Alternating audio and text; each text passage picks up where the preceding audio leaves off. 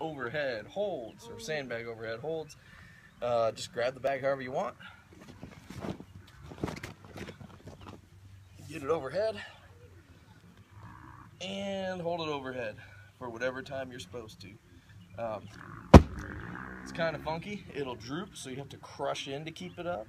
Or if you're crushing in um, and it was high like mine was, it's just really expanding out into your arms. So it's a funky little challenge, little core challenges from stability, and then your shoulders actually get a pretty good workout from holding it overhead and squeezing in even gets your chest just a little bit.